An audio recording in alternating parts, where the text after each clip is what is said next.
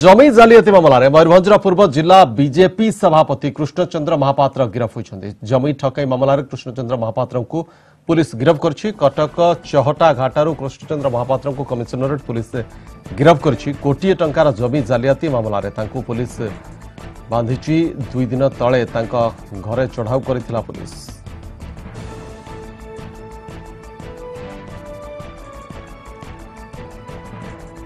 ସମ୍ପର୍କରେ ଅଧିକ ସୂଚନା ପାଇଁ ଆମ ସହିତ ଫୋନ୍ ଲାଇନ୍ରେ ଯୋଡ଼ି ହୋଇଛନ୍ତି ଆମ ପ୍ରତିନିଧି ପ୍ରବୀର ପ୍ରଧାନ ପ୍ରବୀର ଯେଉଁଭଳି ଭାବରେ କମିଶନର ପୁଲିସ ଦୁଇ ଦିନ କାଳ ଖୋଳତାଡ଼ କରିବା ପରେ ଶେଷରେ ଗିରଫ କରିଛି କୃଷ୍ଣଚନ୍ଦ୍ର ମହାପାତ୍ରଙ୍କୁ ତ କ'ଣ ତାଙ୍କ ବିରୋଧରେ ମୁଖ୍ୟତଃ ମାମଲା ରହିଛି বা অভিযোগ রয়েছে যে আধারে কমিশন পুলিশ তাঁকু খোঁজুলা এবং শেষে তাঁকু গিরফ করেছে ଦେଖନ୍ତୁ ଯଦି ଅଭିଯୋଗ କହିବା ତେବେ ଦୁଇ ହଜାର ଏଗାର ମସିହାରେ ନନ୍ଦନକାନନ ଥାନା ଅଞ୍ଚଳରେ ଏକ ଜମି କାରବାର ହେଇଥିଲା ଆ, ଜଣେ ରୀନା ଧୀର ନାମକ ଜଣେ ମହିଳାଙ୍କ ସହିତ କୃଷ୍ଣଚନ୍ଦ୍ର ମହାପାତ୍ରଙ୍କର ଏକ ପାଖାପାଖି କୋଟିଏ ଟଙ୍କାର ଏକ ଜମି ଦୁର୍ନୀ- ଜମି କିଣା ବିକା ଡିଲ୍ ହେଇଥିଲା ପରବର୍ତ୍ତୀ ସମୟରେ ଯେତେବେଳେ ରୀନା ଧୀର ଜାଣିବାକୁ ପାଇଲେ ସେ ଜମି ଅନ୍ୟ ଜଣଙ୍କୁ ବିକ୍ରି ହୋଇସାରିଛି ତ ସେତେବେଳେ ରି- ରୀନା ସେ ଡିଲ୍ରୁ ଅବସ୍ଥା ଡିଲ୍ରୁ ପ୍ରତ୍ୟାଖ୍ୟାନ କରିଥିଲେ ଏବଂ ଟଙ୍କା ମାଗିଥିଲେ କୃଷ୍ଣଚନ୍ଦ୍ର ମହାପାତ୍ରଙ୍କୁ। କିନ୍ତୁ କୃଷ୍ଣଚନ୍ଦ୍ର ମହାପାତ୍ର ଟଙ୍କା ନ ଦେଇ ଏକ ଚେକ୍ ଦେଇଥିଲେ ଯାହାକି ପରବର୍ତ୍ତୀ ସମୟରେ ସେ ଚେକ୍ ବାଉନ୍ସ ହୋଇଥିଲା। ଆଉ ଏହା ନେଇକି ରୀନା ଧୀର ସେତେବେଳେ ଇନ୍ଫୋସିଟି ଥାନାରେ ଅଭିଯୋଗ କରିଥିଲେ। ଇନ୍ଫୋସିଟି ଥାନା ପୋଲିସ ମାମଲା ରୁଜୁ କରିଥିଲା କିନ୍ତୁ ସେତେବେଳେ କୃଷ୍ଣଚନ୍ଦ୍ର ମହାପାତ୍ର ଫେରାର ହେଇଗଲେ। ତ ଏହାକୁ ନେଇକି ଯେତେବେଳେ ଅ, ଗୋଟେ ପ୍ରବୀର ମୁଁ ଆସିବି ଆପଣଙ୍କ ପାଖକୁ। ଆମ ସହିତ ଫୋନ୍ ଲାଇନରେ ଯୋଡ଼ି ହୋଇଛନ୍ତି ଭାରତୀୟ ଜନତା ପାର୍ଟିର ରାଜ୍ୟ ଉପସଭାପତି ସମୀର ମହାନ୍ତି। ସମୀର ବାବୁ ଆପଣଙ୍କୁ ସ୍ୱାଗତ ଏବଂ ଜାଣିବାକୁ ଚାହିଁବୁ ଆପଣଙ୍କର ପ୍ରତିକ୍ରିୟା। ଆପଣଙ୍କ ଦଳର ମୟୂରଭଞ୍ଜ ଅ, ଜିଲ୍ଲା ସଭାପତି କୃଷ୍ଣଚନ୍ଦ୍ର ମହାପାତ୍ରଙ୍କୁ ପୁଲିସ ଗିରଫ କରିଛି ଏବଂ ତାଙ୍କ ବିରୋଧରେ ସଙ୍ଗୀନ ଅଭିଯୋଗ ଆସୁଛି ଜମି ଜାଲିଆତି କରିଛନ୍ତି। ତ ନିଶ୍ଚିତ ରୂପେ ଏ ଖବର ମଧ୍ୟ ଆମେ କିଛି ବିଳମ୍ବିତ ରାତ୍ରିରେ ପାଇଛୁ। ତ ଏଥିରେ ମୁଁ ସ୍ପଷ୍ଟ କରିବା ପାଇଁ ଚାହେଁ ଆଇନ ଉପରେ କେହି ନୁହନ୍ତି। ଯଦି ତାଙ୍କର ଏ ଜମି ଜାଲିଆତିରେ କିଛି ସମ୍ପୃକ୍ତି ଥାଏ ପୋଲିସ ଗିରଫ କରିଛି ଆଇନ ତା ବାଟରେ ନିଶ୍ଚିତ ରୂପେ କାମ କରିବ। ଆମେ ପ୍ରକୃତ ପକ୍ଷେ ସେ କଣ ଜାଲିଆତି ହେଇଛି ସେ ସମ୍ପର୍କରେ ଆମେ ବିଶେଷ କିଛି ଜାଣିନୁ। ଆଜି ସେ ବିଷୟରେ ଆମେ ତଥ୍ୟ ସଂଗ୍ରହ କରିବୁ। ତେଣୁ ତାପରେ ଦଳର ନିଷ୍ପତ୍ତି ଦଳକୁ ଦୃଷ୍ଟିରୁ ଏ କଥା ମଧ୍ୟ ଚିନ୍ତା କରାଯିବ। ଆଇନ ତ ନିଶ୍ଚିତ ରୂପେ ତା ବାଟରେ କାମ କରିବ କିନ୍ତୁ ଦଳ ତାଙ୍କ ବିରୋଧରେ କାର୍ଯ୍ୟାନୁଷ୍ଠାନ ନେବ ନା ନାହିଁ? ସେ କଥା ତ ଆଜି ଗତକାଲି ବିଳମ୍ବିତ ରାତ୍ରିରେ ଆମେ ଖବର ପାଇଛୁ।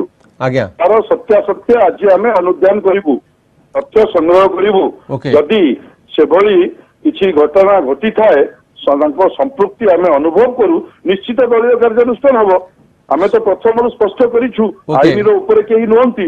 ନାଇଁ ଠିକ ଆଇନ ଉପରେ କିନ୍ତୁ ଶ୍ରୀତ ମହାନ୍ତି ମୟୂରଭଞ୍ଜ ଜିଲ୍ଲାରେ ଆପଣଙ୍କ ଦଳର ସ- ଯିଏକି ସଭାପତି ତାଙ୍କ ବିରୋଧରେ ଯଦି ଏଭଳି ସଙ୍ଗୀନ ଅଭିଯୋଗ ଆସୁଛି ଠକେଇ ଅଭିଯୋଗରେ ସେ ସମ୍ପୃକ୍ତି ହେଉଛନ୍ତି ଜାଲିଆତି ଅଭିଯୋଗରେ ସମ୍ପୃକ୍ତି ହେଉଛନ୍ତି ଦଳ ସଂଗଠନ ଉପରେ ଦଳର ଭାବମୂର୍ତ୍ତି ଉପରେ ତାର ପ୍ରଭାବ ପଡିବ ନା ନାହିଁ? ନାଇଁ ପ୍ରଭାବ ପଡିବା ନ ପଡିବା ଉପରେ ତ ଆମେ ପରେ ତାକୁ ସମୟ କହିବ କିନ୍ତୁ ମୟୂରଭଞ୍ଜ ଜିଲ୍ଲାରେ ଯୋଉଭଳି ଭାବରେ ଜିଲ୍ଲା ପ୍ରଶାସନ ବିରୁଦ୍ଧରେ ଏବଂ କଲେକ୍ଟରଙ୍କର ଯୋଉ ସମ୍ପୃକ୍ତି ଦୁର୍ବ୍ୟବହାର ପ୍ରଦର୍ଶନ କରିବା ଆମର ଜିଲ୍ଲା ପରିଷଦ ସଦସ୍ୟମାନଙ୍କୁ ଏବଂ ତାଙ୍କର ତାଙ୍କୁ ଯୋଉଭଳି ଭାବରେ ଦୁର୍ବ୍ୟବହାର ପ୍ର- ପ୍ରତିବାଦରେ ଭାରତୀୟ ଜନତା ପାର୍ଟି ଯୋଉ ଆନ୍ଦୋଳନକୁ ଓହ୍ଲେଇଥିଲା ସେ ଆନ୍ଦୋଳନ ଚାଲିଛି। ଏହି ସମୟରେ ଏ ପୋଲିସର ଯଦି ଜାଲିଆତିର ଖବର ଆଗରୁ ଥିଲା ସେ ନିଶ୍ଚିତ ରୂପେ କରିବା କଥା। କିନ୍ତୁ ଏ ସମୟକୁ ଦେଖି ଯେତେବେଳେ ମୟୂରଭଞ୍ଜ ଜିଲ୍ଲାରେ ପ୍ରତ୍ୟେକ ବ୍ଲକରେ ଆନ୍ଦୋଳନ ଚାଲୁଛି ଜିଲ୍ଲା ପ୍ରଶାସନ ବିରୁଦ୍ଧରେ ଏହି ସମୟ ହିଁ ପ୍ରଶ୍ନବାଚୀ ସୃଷ୍ଟି କରିଛି। ନିଶ୍ଚିତ ରୂପେ ଆମେ ଏ ବିଷୟରେ ତଦନ୍ତ କରିବୁ। ତଦନ୍ତର ଯଦି ଠିକ ଇଏ ଥିବ ନିଶ୍ଚିତ ରୂପେ ସେଥିରେ ତାଙ୍କର ସମ୍ପୃକ୍ତି ଥିବ ତାହେଲେ କାର୍ଯ୍ୟାନୁଷ୍ଠାନ ହବ। କିନ୍ତୁ ମୟୂରଭଞ୍ଜ ଜିଲ୍ଲାରେ ମୟୂରଭଞ୍ଜ ଗୋଟିଏ ଅଞ୍ଚଳ ହେଉଛି ସିଡୁଲ ଏରିଆ ଯୋଉଠି ଆଦିବାସୀ ଅଧ୍ୟୁଷିତ ଅଞ୍ଚଳ। ଯୋଉଠି ଗତ ନିର୍ବାଚନରେ ଭାରତୀୟ ଜନତା ପାର୍ଟିକୁ ମୟୂରଭଞ୍ଜବାସୀ ଛପନଟି ଜିଲ୍ଲା ପରିଷଦରୁ ଅଣଚାଶଟି ଫର୍ଟି ନାଇନ ଜିଲ୍ଲା ପରିଷଦ ଅ, ନିର୍ବାଚିତ ହେଇଥିଲେ ଏଥିରୁ ପ୍ରମାଣିତ କରୁଛି ମୟୂରଭଞ୍ଜରେ କୋଉଠି ନା କୋଉଠି ଆଦିବାସୀ ଲ- ଭଉଣୀ ଭାଇ ମାନେ ନିଶ୍ଚିତ ରୂପେ ଭାରତୀୟ ଜନତା ପାର୍ଟି ଏବଂ ନରେନ୍ଦ୍ର ମୋଦିଙ୍କୁ ବିକଳ୍ପ ଭାବରେ ଦେଖିଛନ୍ତି ସେଠି ଆନ୍ଦୋଳନ ଚାଲିଛି କଲେକ୍ଟର ଅଫିସ ସାମ୍ନାରେ ଧାରଣାରେ ଦୀର୍ଘ ଦିନ ହେଲାଣି ବସିଛନ୍ତି ଏବଂ ବ୍ଲକ ଗୁଡିକରେ ଆନ୍ଦୋଳନ ଚାଲିଛି ଏହି ସମୟକୁ ନେଇ ଇଏ ଗୋଟିଏ ସନ୍ଦେହ ସୃଷ୍ଟି କରୁଛି। ତ ଏ ସନ୍ଦେହ ପଛରେ ଅ, ଏ କା- କାହିଁକି ଆପଣଙ୍କୁ ଏଭଳି ସନ୍ଦେହ ଏବଂ ଦ୍ୱିତୀୟ କଥା ହଉଛି ଏ ସନ୍ଦେହ ପଛରେ କଣ କାରଣ ହେଇଥାଇପାରେ ଆପଣଙ୍କୁ ଲାଗୁଛି ଯେ ଇଏ ମତେ ଲାଗୁଛି ଆମେ ତ ପୂର୍ବରୁ କହିଛୁ ଏ ବିଜେଡି ଶାସକ ଦଳ ସତର ବର୍ଷର ନବୀନ ବାବୁଙ୍କ ଶାସନରେ ଜିଲ୍ଲାପାଳ ମାନେ ଏବଂ ଏସପି ମାନେ ଯୋଉଭଳି ଭାବରେ ଶାସକ ଦଳର ହାତ ବାରିସି ସାଜିଛନ୍ତି ଏହା ସର୍ବଜନ ବିଦିତ ଏଥିରେ ବିଜେଡିର ସଭାପତି ଏବଂ ସାଧାରଣ ସମ୍ପାଦକ ଭଳି କାର୍ଯ୍ୟ କରୁଛନ୍ତି। ତ ଏ ସମୟରେ ଯୋଉ ପ୍ରତି ଭାବରେ ଘଟିଛି। ଏହାକୁ ଆମେ ଏ ସନ୍ଦେହ ମଧ୍ୟ ଆମର ଦୃଢ଼ୀଭୂତ କରୁଛି।